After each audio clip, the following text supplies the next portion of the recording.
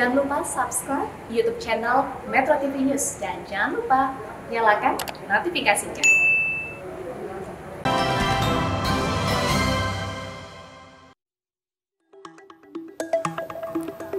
Pemirsa pemerintah telah menyusun peta jalan vaksinasi nasional COVID-19. Mereka yang masuk daftar prioritas akan didahulukan. Ada pula skema vaksinasi mandiri untuk rakyat yang mampu.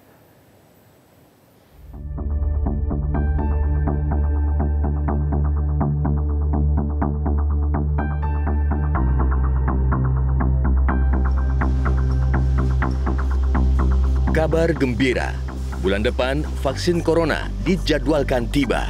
Itulah pernyataan terbaru pemerintah terkait pengadaan vaksin corona. Indonesia merupakan salah satu negara terbesar pemesan vaksin COVID-19 yang diproduksi di beberapa negara. Sebutlah vaksin produksi Sinovac, Sinopharm, G42, Gavicovac, serta Genesin. Yang terbaru, vaksin AstraZeneca, serta Imperial College London ikut masuk dalam daftar belanja vaksin pemerintah. Menurut data Bapenas, hingga akhir tahun 2021, Indonesia telah menaikkan kesepakatan untuk impor sebanyak 397,3 juta dosis vaksin.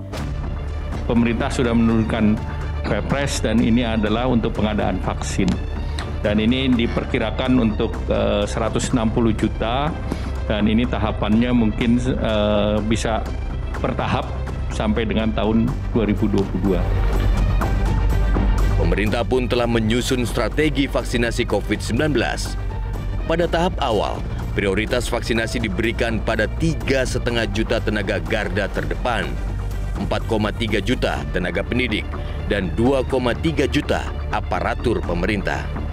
Selain itu, pemerintah juga menargetkan vaksinasi terhadap 4,3 juta tokoh agama, perangkat daerah, dan sebagian pelaku ekonomi.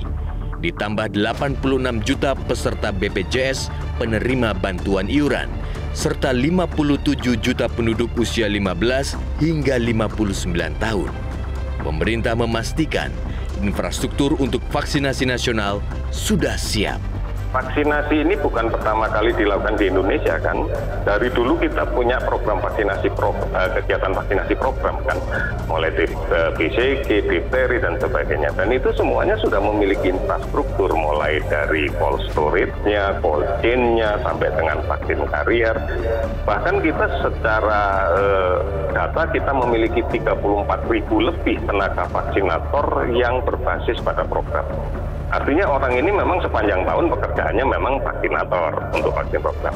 Nah, eh, infrastruktur SDM inilah yang kita perkuat. Jadi kita sudah memiliki sistem ini, kita sudah memiliki sistem distribusinya, kita sudah memiliki sistem pemantauan uh, cold chain-nya, kita sudah memiliki pem, uh, sistem pelaporan dan sebagainya.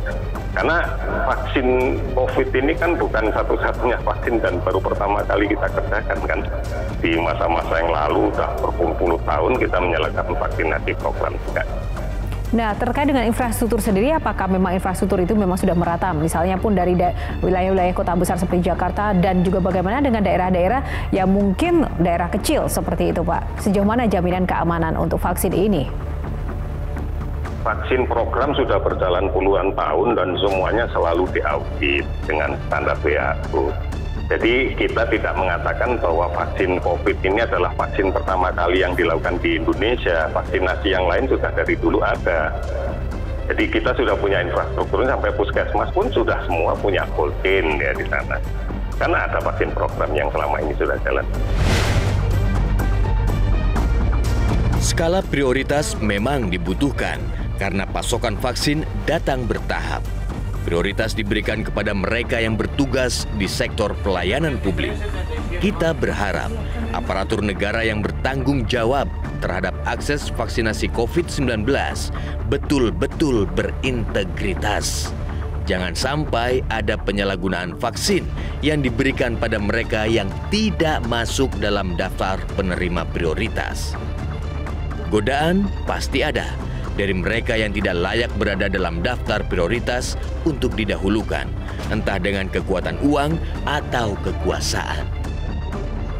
Satu persoalan lagi, selain vaksinasi gratis, pemerintah juga membuat skema vaksinasi mandiri. Artinya, mereka yang mampu tidak masuk daftar prioritas. Kemungkinan besar harus mencari sendiri dan membayar sendiri untuk mendapatkan vaksin COVID-19. Pemerintah harus benar-benar hadir agar vaksinasi mandiri tidak bernasib seperti rapid test mandiri atau swab test mandiri yang sempat digunakan untuk meraup untung besar di tengah pandemi. Negara kita memang tidak melarang usaha swasta, namun kita juga berkomitmen untuk menjamin keadilan sosial untuk seluruh rakyat Indonesia.